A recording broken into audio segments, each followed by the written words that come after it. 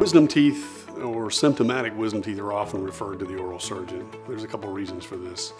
Number one, uh, an anxious patient, someone who's not looking forward to it, and let's face it, who, who really does, uh, they're going to be sent to us because we can provide different levels of anesthesia for it, whether it be oral sedation or full IV uh, anesthesia, or in some cases, have to intubate and breathe for them using an anesthesia machine.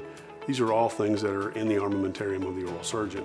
Impacted versus non-impacted teeth really kind of uh, depends on the age. You know, if you come in and you're a very large ex-NFL football player and yours are all erupted, it's probably going to be just as difficult as any impacted tooth and maybe a little bit more so and, and, and certainly worse with age and the doctor, whether it's the orthodontist or dentist, doesn't think that they have room for them, so they want them removed before that becomes a real problem.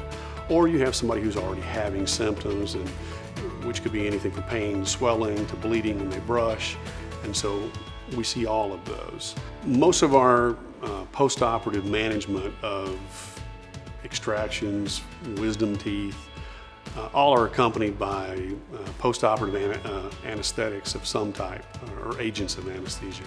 Uh, that may include uh, non-steroidal medicines like Aleve or Advil, but it, most of the time will also involve narcotics. Um, and then there's also usually some things that are given in conjunction with that, like uh, a mouth rinse to kind of help with hygiene. Also, we'll usually give something for, for nausea just in case it happens. We don't see a lot of it, but when you do have it, it's nice to have something and not have to, to, to be worried about having to deal with it on your own.